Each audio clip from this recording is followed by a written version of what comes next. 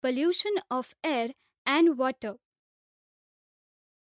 Introduction When unwanted and harmful things mix with the air, water, or soil, it is said to be contaminated. Contamination of air, water, or soil is what we call pollution. Pollution is mixing of the unwanted substances with any pure substances.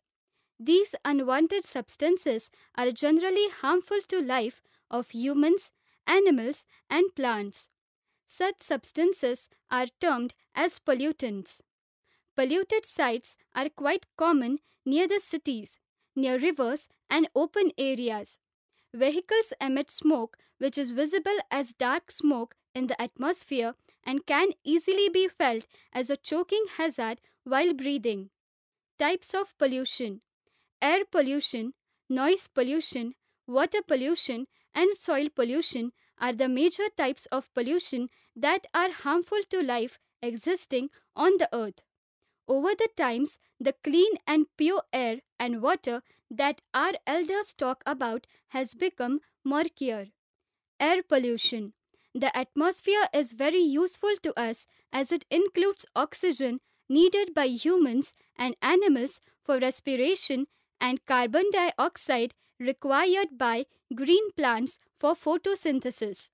The air gets contaminated by polluting agents such as smoke, dust, and other harmful gases. The presence of these agents makes the air polluted and can even cause various diseases. This contamination of air is known as air pollution. A thick, fog like layer occurs at times. It is known as smog. A smog is a mixture of smoke and fog that is especially visible during winters. Sources of air pollution. The substances which contaminate the air are called air pollutants. There are various sources of air pollution. Sometimes such substances may come from natural sources like smoke and dust arising from the forest fires or volcanic eruptions. Pollutants are also added to the atmosphere by certain human activities. These include smoke of burning fuel released by cars, scooters, and other vehicles, poisonous gases such as sulfur dioxide, nitrogen dioxide, carbon dioxide are released from the factories, burning of fossil fuels such as petrol and diesel causes the emission of gases like carbon dioxide and sulfur dioxide and also emits unburnt carbon as a pollutant. Chlorofluorocarbons, CFCs, used in refrigerators and spray cans deplete the ozone layer. Smoking by people release harmful substances like carbon monoxide and nicotine into the atmosphere. Effects of air pollution on environment.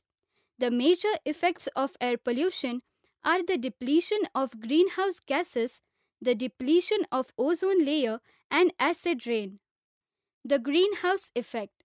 In the greenhouse effect, the carbon dioxide of the atmosphere absorbs the solar radiations emitted out from the surface of the planet and heats up the atmosphere of the earth.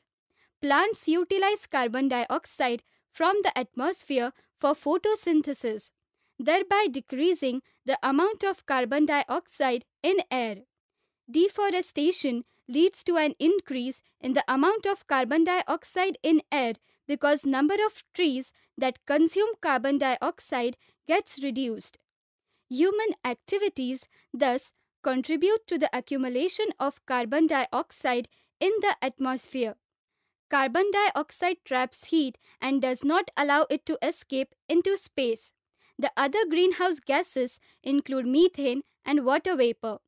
It is because of the increased greenhouse effect that the average temperature of the earth has increased up to 1 degree Celsius, which is quite alarming. The polar ice caps have already started melting at an alarming rate. If the earth's temperature keeps on rising at this rate, the time is not far when these polar ice caps would melt completely and all the land on the earth will be submerged in water. Acid rain. Nitrogen dioxide released from the automobiles, sulfur dioxide released by the burning of fossil fuels mix with the falling rainwater and results into the formation of nitric acid and sulfurous and sulfuric acid causing acid rain. This acid rain contaminates the soil and the water bodies. Nitrogen dioxide plus rainwater is equal to nitric acid. Sulfur dioxide plus rainwater is equal to sulfurous acid. Acid rain causes a considerable harm to buildings. The famous Taj Mahal is losing its color and sheen due to the acid rain which occurs due to increasing air pollution in and around Agra. Depletion of ozone layer. Ozone layer is a kind of a blanket on the earth which saves us from the ultraviolet rays of the sun. Ozone O3 is located mainly in the lower portion of the stratosphere, approximately 15 to 35 km above the Earth's surface. This layer is getting depleted due to CFCs, chlorofluorocarbons, excessively being used in refrigeration and air conditioners. The CFC destroy ozone in the following way. CFC UV light forms Cl atom. Cl plus O3 forms ClO plus O2. Ozone broken down by CFCs. The depletion of the ozone layer D allows large amounts of ultraviolet rays to reach Earth, which can cause skin cancer and cataracts in humans and harm animals also. In plants and other living beings, the effects of air pollution on plants are briefly discussed below. Acid rain spoils the foliage and causes reduction in the growth of many parts of the plants. Deposition of particulate material, that is, dust, cement, carbon, and soot, blocks the stomata, which hinders not only the normal respiration but also the mechanism of photosynthesis. Pollution causes discoloration of the leaves in many plants and also shows inhibited growth of many other parts of the plants. Air pollution can cause numerous diseases in many animals and human beings. Respiratory problems, lung cancer, bronchitis, allergy, coughing, chest pain are a few to name. Carbon monoxide, released by the incomplete combustion of carbon fuels, easily gets bonded with hemoglobin present in the blood during breathing and reduces the supply of oxygen. This might lead to headache, nausea, and dizziness. Prolonged inhaling of carbon monoxide may lead to death. Thus, we should never sleep in a closed room with burning charcoal hearth during winter nights. Prevention of air pollution. Plant more trees for absorption of carbon dioxide and release of oxygen in the atmosphere.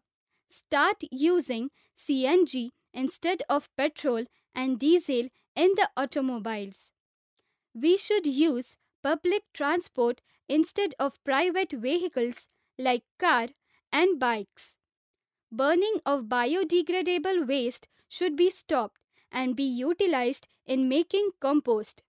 More effort should be made to develop alternate sources of energy like solar energy and fuel. Water pollution. Usually, there are two main sources of water surface water and groundwater. Groundwater is comparatively cleaner and better for consumption than surface water, which is much more polluted. Factors leading to water pollution. Water pollution means the addition of any such substances to the water which deprives it from its actual use of consumption. Water pollution may be from direct or an indirect contaminants. Direct contaminant includes effluents from factories, refineries, or waste from water treatment plants. Indirect contaminant includes pollution reaching through soil or through rainwater. The principal sources of water pollution can be summarized as follows. Discharge of chemical waste by industries, discharge of poorly treated or untreated sewage, surface runoff containing pesticides or fertilizers, detergents, and spilled petroleum products, surface runoff from construction sites and farms, leakage of underground storage tank. Effects of water pollution. Contamination of water affects all the living organisms as water is an integral part of all life forms. Polluted water may cause diseases like cholera, dysentery, typhoid, gastroenteritis, hepatitis, diarrhea, and skin diseases. Contamination of river with heavy metals like lead, mercury, copper, nickel, etc. harms both the aquatic and human lives. Residual fertilizers, on being washed away into the water bodies, encourage the growth of weeds on the surface of the water body. These weeds use most of the dissolved oxygen and affects the aquatic life. The loss of dissolved oxygen from water in water bodies is termed as eutrophication. Prevention of water pollution. Some steps that must be taken to prevent water pollution are listed below. Garbage should not be thrown into lakes, rivers, and other water bodies. More trees should be planted near the banks of rivers. Toxic industrial wastes and city sewages should be treated properly before being discharged into the water bodies. Excessive use of fertilizers should be discouraged. Use of synthetic detergents should be minimized. Activities like washing and cleaning should not be done near the source of water. Wells should be covered. Ganga Action Plan The Government of India launched a program called Ganga Action Plan in 1986 to reduce the pollution levels in the river. The GAP aimed at interception and diversion of wastewater reaching the Ganga and installation of sewage treatment plant for its treatment.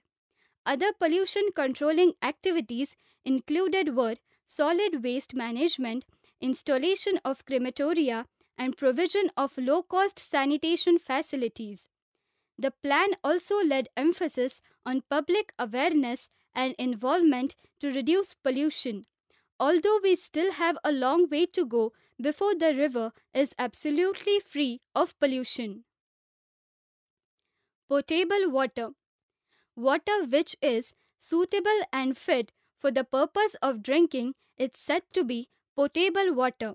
It has a number of minerals which are necessary for the proper functioning of our body and for normal metabolism.